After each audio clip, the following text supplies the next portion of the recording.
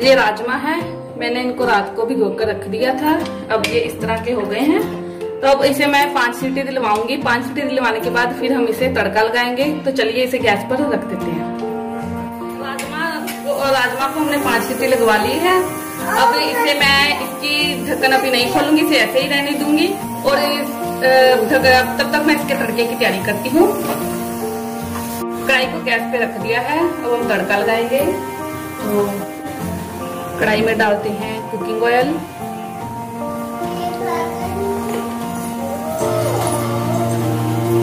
इसको गर्म होने के लिए तेल गर्म हो चुका है, प्याज, हरी मिर्च और लहसुन मैंने इससे तीनों चीज़ों को साथ में ग्राइंड कर लिया है। अब इसमें डालेंगे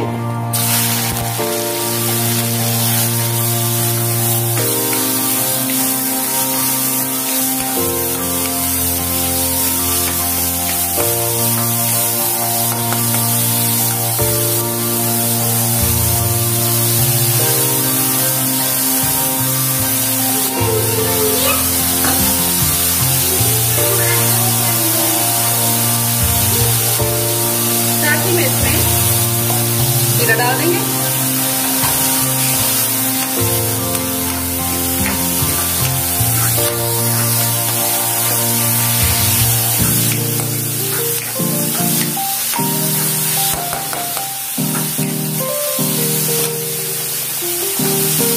जीरा डालने के बाद नमक।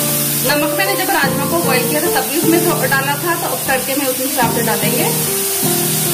आप अपने टेस्ट के हिसाब से कम ज़्यादा कर सकते हैं।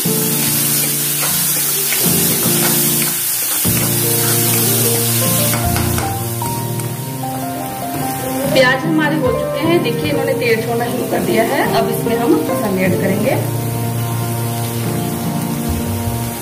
लाल मिर्च पाउडर आप स्वाद के अनुसार डाल सकते हैं। हल्दी पाउडर। सूखा धनिया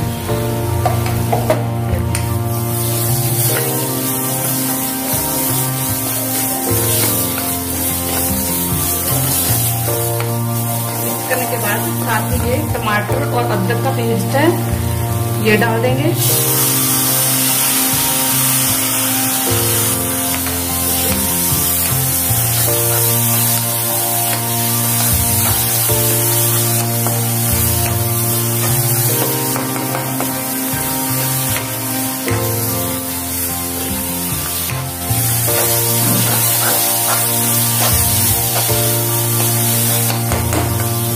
थोड़ा सा,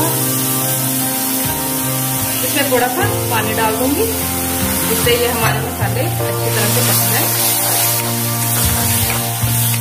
इसे मैं दो मिनट के लिए ढक के रख दूँगी। दो मिनट बाद हम अपने तड़के को चेक करेंगे ऐसे ढक के रख दे।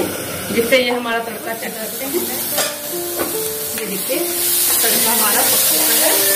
और इसमें तेल जो छोड़ना शुरू कर दिया है।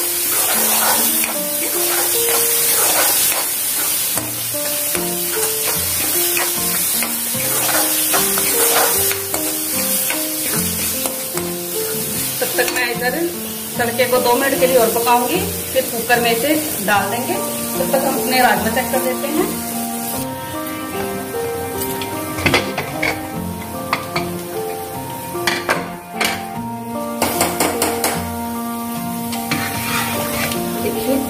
राजमा हमारे कितने अच्छे से सोख हो गए हैं। अब इसमें जो मैंने तड़का लगाया है, वो डाल दूँगी।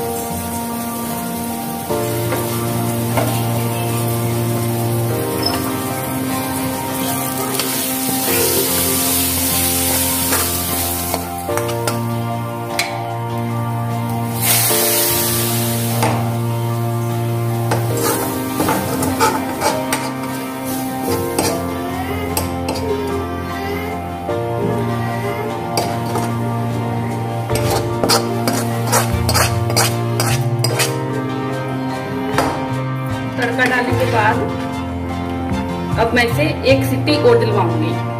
एक सीटी दिलवाने से जो राजमा में जो हमारे मसाले हैं, वो पूरी तरह से ऐड हो जाएँगे और उनका फ्लेवर हमारे बन चुके हैं। ये देखिए, इस तरह से। अब मैं इसे सर्व करती हूँ। राजमा हमारे बनकर बिल्कुल तैयार हैं। अब ये आप इसे खा सकते हैं रोटी के साथ, चावल के साथ। चावल भी मैंने बनाए हैं, वो भी मैं आपको दिखाती हूँ। राजमा चावल मेरे बनकर तैयार हैं। देखिए कितने के चावल कितने खिले खिले बने हैं।